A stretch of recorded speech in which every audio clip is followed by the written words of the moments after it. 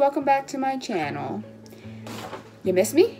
Sorry I haven't uploaded a video in a while to the like five people who even follow me, but uh, hopefully more people will in the future because I'm going to get better at uploading videos on more regular basis. So um, stay tuned for that.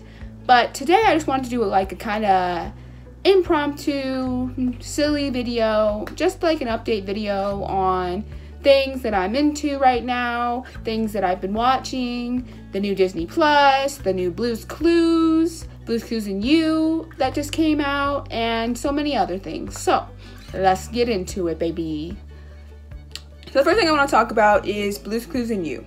So I just watched the new reboot of Blue's Clues featuring Josh, who is a Filipino, um, the host is Filipino, right? And I loved it. Oh my gosh. so if you don't know, my history with Blue's Clues is one of pure nostalgia because I grew up on Blue's Clues from the day it premiered on TV. So when I was five years old, I couldn't go to kindergarten at first because I was five years old, but my birthday was in October. So I wouldn't, so by the time school was like let in for that school year, I was only four years old and I couldn't go to school because my birthday wasn't until October. So I had to wait a whole year and stay home with my mom, which was actually really awesome. I loved the fact that I didn't have to go to school for a whole year. Like that was really great for me especially since I'm a very introverted person and just like a lot of things. I have dyslexia and a lot of things. So it gave me a little bit more time to develop and mature. And also, I was just happy to have the time to spend with my mom. Like, I just got to spend time with my mom and my family, and it was a beautiful, beautiful thing. So during that time period, I got to see the premiere of Blue's Clues. I remember it was uh, a fall day, I remember, and it was in 96. And me and my mom were outside and we were picking leaves from the ground and we brought them back in and we were making one of those books. You know the books where you put the leaves in the book, like it's a binder or something, and you put the leaves in the book and like press them together. And they make like the leaves like really like flat. And they're like leaves that you can like use for crafts and stuff and like also just makes really pretty like images in your books. And so me and my mom were doing that. And then I remember after we did that, Blue's Clues premiered. And I was so excited because I really didn't know anything about Blue's Clues at the time because I'm like five years old and with a new show. But I loved everything about Nick Jr. at the time. Nick Jr. was my A1 from day one. Nick Jr., PBS Kids, Cartoon Network, and Nickelodeon. Those were my channels, maybe. I was living on those channels, especially when you didn't have cable. Like the days my dad couldn't afford to pay for the cable bill, which was fine, I had PBS. And PBS Kids back in the day used to be poppin', baby. It used to be on and poppin', okay? When I did not have cable, I used to go to PBS. I'd be watching me some Bill Nye the Science Guy, Arthur, Big Comfy Couch, Sesame Street, like I, it was it was on and popping, baby. It was it was it was really a vibe, okay? It was a whole entire vibe, and I loved it. But back to Blue's Clues. So yeah, I got to watch the full premiere of Blue's Clues with Steve, and it was just it was a whole entire everything. Like I love Blue's Clues to this day. Like I'm a 28 year old woman, and I love Blue's Clues. Like everything about Blue's Clues. Now, I know there are a lot of us out there that didn't take kindly to when Steve left the show and went to college, even though he's a grown man. But I mean, everybody goes to college at their own age, right? And their own pace. We don't shame out here. But um, yeah, when Steve left and Joe took over, we were not too particular on it. But by then, like a lot of us had stopped watching Blue's Clues anyways. So at that point, did it matter to us? No, but we were just being nitpicky because we can be. But um, yeah, Blue's Clues is is a1 from day one, baby. It is. It honestly is. It's one of my favorite Nick Jr. shows to this day. I can watch every episode and get so happy and so nostalgic and just oh, my heart, right? So when they said they were making a reboot of, of Blue's Clues, I got super super scared because a lot of the reboots that they've been making for my nostalgic properties from when I was a child have sucked. And I'm just gonna say it. They have. They have not been good. Girl World not a good show. Fuller House, I won't say it sucks, but I mean, I wasn't really into Full House back in the day. Anyways, I watched it when it came into syndication, but I wasn't like a huge, huge fan. Like, I wasn't like obsessed with it or anything. So for me, it's like that was cute, and like I still watch it just because it's you know from the 90s. But I then whatever. As long as DJ and Steve end up together, that's all that matters in my life. You'll hear? But um yeah, like so many reboots of all of my nostalgic properties have just sucked. I don't know why. And so I was nervous that this one would suck too. Oh no, baby. Oh no. They took this show and they said this was a very important show to all of our audience from 1996 to like 2002 or 2003. I don't remember when it actually went off the air because I remember I stopped watching after a while. But um, they know it was important to us. And so they were like, let's not take a chance and flop on this. And oh, baby, did they not. I watched the very first episode of Blues Clues and You, which I will link uh, down at the bottom in the description so you guys can watch it too. And it was incredible, y'all. It was honestly a whole entire vibe. It gave me the nostalgic feels on point, okay? First of all, Joe, we don't like. But Josh, he was a vibe, okay? Josh, the new Filipino host, he is incredible. And I think the reason I love him so much, besides the fact that he's a person of color, represent, hey, hey, he's representing all the people of color out there. He also is one of us. When I say he's one of us, I mean he's a millennial. He grew up with the original Blues Clues, and so he understands how important this new Blues Clues is to kids, and how important the old Blues Clues was to our generation, and how the new Blues Clues is going to be really important to the new generation. So he knows we can't flop, right? And so he's just an incredible host. Like I love, love, love, love, love Josh. He's incredible. Like Steve is of course number one. He's my ace boom bay. I love him. He's incredible. He was from day one and we love Steve. But I think Josh could be a number two. Sorry, Joe. I don't know. For my generation, we just don't like change a lot. I mean, you saw how we felt about, you know, when Aunt Viv became light skinned instead of dark skinned and you know, Janet Hubert got kicked out. But um, we don't like change that much, okay? We don't. So when people change from different characters to different characters, we're like, eh, not too fond. But in this way, we like it. Or at least I like it. Because I feel like the new uh, host of Blues Clues and You is just incredible. He's a millennial, and I'll get to why I say he's a millennial and like really gets the vibe of what Blues Clues is later when I describe the episode, but he's incredible. The voice actors and everything for blue and magenta, salt and pepper, side table drawer, um, uh, uh, shovel and pail, mailbox, all the whole crew, the whole crew, probably lamp too. I haven't seen lamp yet. I think there was a lamp anyways, but um, yo, the whole crew sounds exactly alike, just like they did back in the day. I'm here for it. And um, yeah, the vibe is just very nostalgic for me. Now Josh plays a guitar whenever they do the classic songs. We just got a letter. We just got a letter. Except for now it's not we just got a letter, but now it's we just got an email. We just got an email. Like now it's that. And also they still do, of course, gotta find the first proper. That's the first clue. They put it there enough because it's who's clues? Blues Clues. I love it. I love it so much, right? And um, yeah, Blues Clues and You is just that warm nostalgic feeling that you always wanted. You don't want too much change from your childhood memories, but the changes that they do do for this show are really good. They gave him a cell phone instead of having him have a rotary phone, which is completely fine. I'm fine with that but they didn't take it too far. They don't have all these apps and smartphone stuff that they have on there. They just have them have a phone. You can take pictures with it, and that's cool. And um, you can video call, and that's cool. But um, they don't have any like high tech whatever. And he still does the skidoo. You can too. That's cool when they jump into the paintings or they jump into the whatever. That's really cool. I love that. Um, and they just they bring the feels. They bring the feels honestly. So let's talk about the whole episode in general. So this episode basically starts off with Blue, or Magenta basically calls Blue on Josh's phone.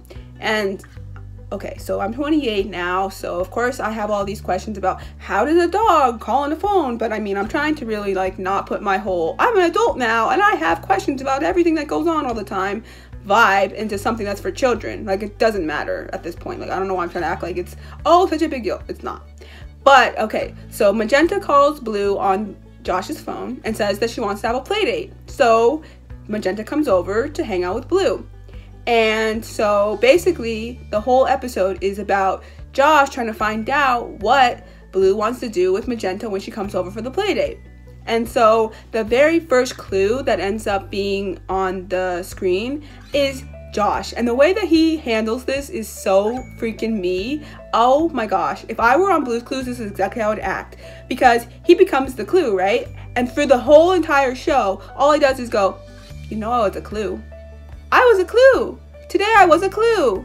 And I love it so much. It gives me so much nostalgia. Like, and he just does it in such a cute way because he's like so proud of the fact that he got to be a clue. And i'm like that is exactly me. If i ended up on this show i would be so excited to become a clue because this show is something that's so important to me. And like man being able to be a clue is so cool right? I love it. It's incredible. Um but basically they go they they talk to Salt and Pepper, which i'm hoping that they end up showing their baby Paprika. Because I remember back in the day on the original Blue's Clues that uh, Salt ended up having a baby. Salt and Pepper ended up having a baby, and then they had a little baby, and her name was Paprika, and it was so cute. Oh my gosh, it was so cute. So, anyways, they hang out with them. They make these little like race cars out of uh, food, which is so cute. And then they end up going into a painting with a shovel and pail and they end up ha- playing tag with them and trying to find out who the animal is that is um, out in the sandbox or whatever. And that's really cute. And then they come back and he finishes blue's clues and finds out who uh, what blue wants to do with magenta. And basically it's just a cute episode. I mean they have mailbox come and sing the we just got an email song and it's just it's incredible. Like it's just a really really good episode and i really love this. This is one of the few nostalgic properties where i'm really glad they rebooted it and they did it in a very genuine and good way. Because they could have made it really high tech they could have made it really 2019 and i would have hated it. But they really just took the elements from the original show and put it in 2019 by giving him a cell phone or making him have email or you know um, having a camera phone and, you know, being able to video chat. Like, those things are cool, and I like that. But they didn't make it to 2019, you know? Like, this still could, in 20 years, still be shown to kids, even if the most high tech technology is being shown, and they could still, like, get something out of it. And I think that's beautiful. And, you know, just shout out to Josh again because he's an incredible host and I think he's going to do incredible on the show. And um, from a clip I've seen recently from the show, I saw they're gonna have an episode where Steve and Joe get called on the phone, and it's the most incredible, nostalgic thing for all of us parents. Well, I'm not a parent yet, but I'll probably end up tuning into the show every now and again just because I can, because I'm a 28 year old woman and I love to watch nostalgic properties from my childhood. So I do what I want, but um, don't judge me. But um, yeah, they have that and that's really sweet. Like I've seen a clip of that and that was like so sweet and I was just like, you know what, you Blue's Clues, you're in good hands. Nickelodeon is actually doing something right for once and doing something good with their nostalgic properties. Speaking of another nostalgic property from Nickelodeon that we have to talk about is All That. Now, I put up a blog post a while ago back when All That first premiered, and I was a little bit skeptical in the past, all that has had a really terrible reboot that they came out with in the 2000s, and I was not vibing with it at all. And I was nervous that this one would be just as bad. But honestly, I've seen a few clips and I've watched a couple of episodes of the show, and I'll admit, these new group of kids are actually A1 funny. Like, they're actually pretty funny. Like, I did not expect it, but they actually are funny and they actually do their bits really well. I mean, they do them a lot. Like, but they are good and they are perfect for who they are as people and their comedic style and I love it. And you know, other um, all that alumni have actually been on the show, including of course Kel, Kenan, Josh Server, Lori Beth Denberg, and the most recent one is Alisa Reyes. And I'm so happy that they have been able to bring back such a great nostalgic property. I think we've been lacking in a lot of good quality um, sketch comedy shows, even for just like in general. Like SNL basically has sucked recently, like it's not that good anymore. And um, I mean, no offense, Kenan, I love you so much, and I'm glad that you've been able to be on the show for as long as you have. But I'm not gonna lie and act like SNL isn't dry Like it's become dry, and it is what it is. They've had a couple of good, you know, sketches here and there, but for the most part, it's pretty dry. And I just that's that's what it is. And um, of course, Mad TV is no more, and In Living Color has passed its prime. So, you know, unfortunately, there haven't been that many good sketch comedy shows. But I will say that if you were a fan of all that back in the 90s or even the early 2000s, please go take a look at the new version. You won't be disappointed. Give these kids a chance. Don't just rain on their parade because you're so nostalgic for your all that. Be nice and be caring. And even if this isn't for you, don't don't dump on them because they don't deserve it, okay? This isn't really for us, it's for the new generation. And if they choose to watch it and understand it and think it's funny, great on them. But you don't have to be mean or harsh and you don't have to rain on their parade because it's important for them and that's all that matters. So if you want to, go check it out. Um, I will say my favorites from this new cast are Nathan. I really like what he does. He does this really good Ariana Grande um, impression, and he also does this thing called canceled or whatever. I don't know how he does it, but basically he does this little thing where he's in this hot tub. It's kind of reminiscent a little bit of the Amanda's Jacuzzi in the Amanda Show. Love the Amanda Show.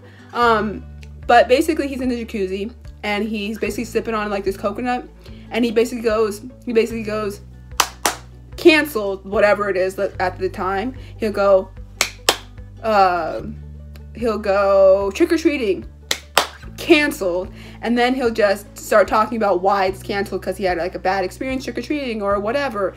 It's really cute and he's really sassy and i love that so that's really great um, I also love the girl who took over Vital Information. And if you haven't seen the first episode of the show, there's this really incredible clip of Lori Beth Denberg basically handing down Vital Information to this new girl. And she's incredible, honestly. Like, I really do like her. I think she's great. And um, she does Vital Information really well. She really is giving the spirit of her version of Vital Information and I think it's great. Um, and there's a lot of them, and they're just really, I think they're a talented group of kids, and not everything sticks for me, but I'm not gonna lie and act like they're not a good group of kids because they are funny and they actually do their sketches really well. And of course, there's you know this nostalgic things that they put out there, like Detective Dan is back, and Ed from Good Burger is back, of course, and um, uh, they've also had Coach Kreeton, and they've also had the loud librarian, Mrs. Hush- Hushbaum, and they've had um, so many, so many. And um, now that Alisa Reyes is coming back for another season, for the second season, I pray that they do my one of my favorite sketches on the original All That with her and Lori Beth, which was the Island Girls. I love it forever and ever and ever and ever and ever and ever and ever and ever. That was hilarious. I love that sketch. Um,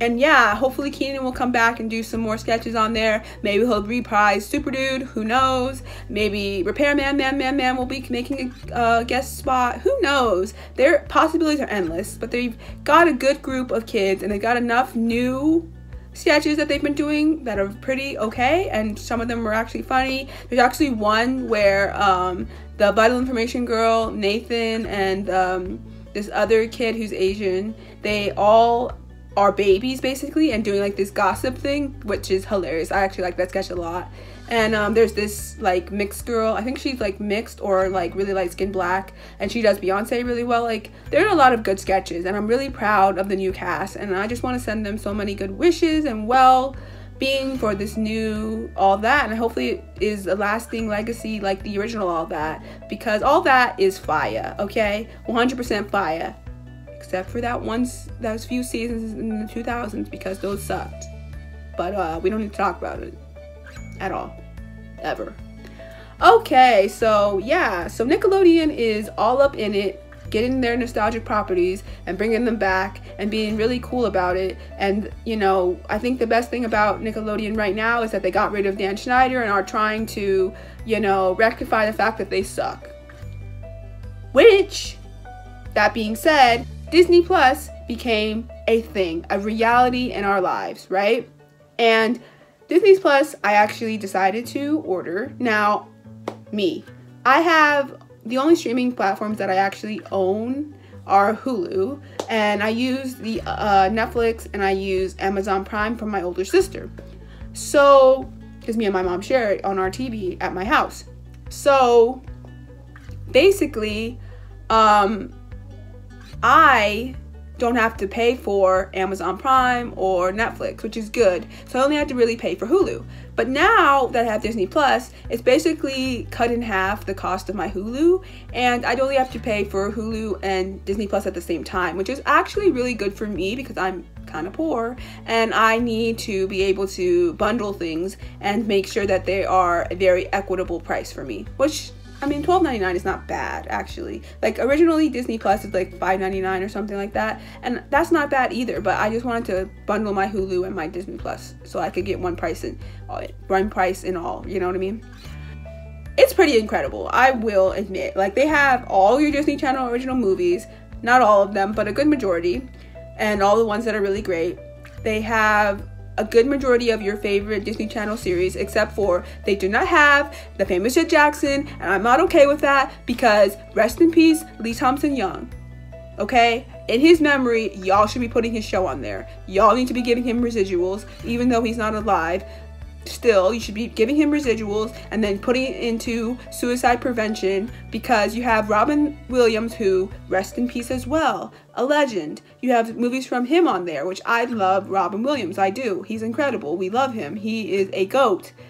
But also Lee Thompson Young was really important for me growing up based on the fact that I'm a black person. And on Disney Channel there wasn't a lot of black TV shows. So having a famous Jackson on there was really important. And um, yeah Jett and Kayla Forever. Stick it to me, Miss Meagan Good. And if you don't know what I'm talking about, please go watch Famous Jett Jackson on. There's a few episodes on YouTube somewhere. Go look it up. Basically, there was this episode where Jett and Meagan Good fell in love for like an episode or two, and he was really supposed to be with Kayla, who which is which is which is his best friend, and there's a whole thing. And if you watch the Famous Jackson movie, you'll know about that too. And Anyways, the famous Jett Jackson needs to be put on Disney Plus. That is all I'm trying to say. But also, My Day with the President's Daughter needs to be put on there. Model Behavior needs to be put on there. Wish Upon a Star needs to be put on there, and so many others. But for what they have at the moment, I'm actually really glad that they have the movies they have, right? So, Disney Plus being really great, having Marvel and, uh, of course, Star Wars, and of course, you know, the Disney stuff and all that Nickelodeon said, well, damn, I guess we're not going to make any money at this point because we just are flops. Well, they decided, I guess, very recently, they were like, well, I guess since Disney wants to have all the streaming, we're gonna have a deal with net with uh, Netflix to make sure that Netflix doesn't bottom out, and we're just basically gonna have all of our shows on Netflix, and then we're gonna have basically a deal with Netflix where we put out new shows for Netflix exclusively. And I'm like, you know what, Nickelodeon, you sneaky. I'm here for it, but you're sneaky. But anyways, as long as as long as Nickelodeon does what Disney does and puts their nostalgic properties from the 90s on their platform, I'm okay with it. Because honestly, like this is what I want. You know, I've been wanting all of these things for so long. I've been wanting a channel where it was just old Disney Channel shows and movies. Like I just wanted that so bad. And I've also wanted that for Nickelodeon. I mean, we've gotten it in certain forms like with the 90s are all that and then the Splat and whatever it is now, Nick Rewind or whatever they're calling it now. But basically, that's what I've been wanting for so long. And they're finally giving it to me. And I think that all of my praying of nostalgic properties being let into this 21st century digital age is coming true and I'm so so so so happy about it. So honestly, I'm just so glad for all these nostalgic things that are being put out into the world. I cannot wait to watch the new Lizzie McGuire uh, TV show that they're putting out on Disney Plus. I'm so excited for that. Um, so excited that I get to watch Even Stevens in its entirety on there, man. I've been wanting to watch that for so long. Lizzie McGuire's on there. That's the Ravens on there. Ravens Home is on there. Like so many things that I just want to watch, and I'm so excited to be able to do that.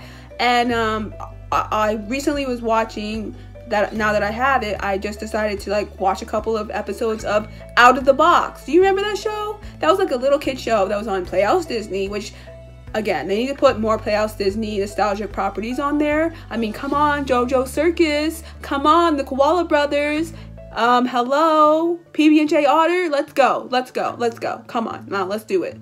But they do have Out of the Box, and I used to like that show a lot. I used to watch it a lot with my niece and nephew when I had to babysit them a lot, and that show was actually really creative. I just have to say, like, Out of the Box was one of those shows where I could just watch that show all the time because the fact that the whole premise of the show is that they built a whole like like um they built a whole like clubhouse out of boxes. And then you go inside the clubhouse and it looks like this magical thing that just pops out of nowhere. And I'm like, you know what? This is so creative. I'm here for it. Like it was actually making kids want to be creative. And then the fact that they use like recycled material to make the actual clubhouse, a1, man. That's incredible. Like, you are guys are you're fighting global warming and you're just helping out the environment and you're just being creative and you're just giving kids things to do after school. Like, you were just A1 from day one, okay? Yes, we're here for it, okay?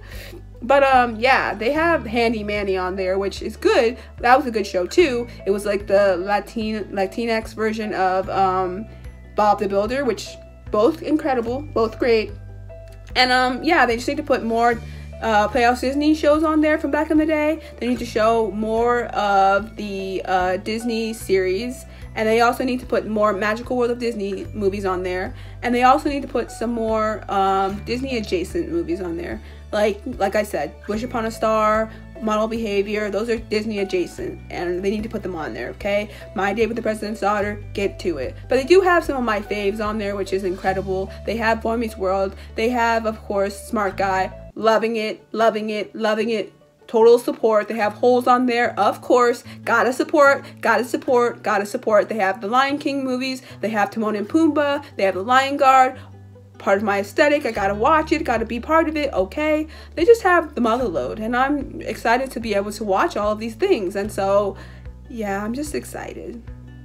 It's a really good time for streaming. It's a really good time for nostalgic properties, and I'm just excited. So I really hope that Nickelodeon comes through with their nostalgic properties and puts them on Netflix properly. And I'm just excited for everything to come for Disney Plus and everything to come for nostalgia in general because they're doing good things with this version of nostalgia and I hope they keep it up because honestly they sucked at it before. But if they can keep it this way I'll be watching through and through. So um yeah this is just a little bit of me rambling on about Disney Plus and Blue's Clues and You and Nickelodeon and Netflix and all the things and just my childhood because I can and I love it and I'm a millennial and I'm nostalgic.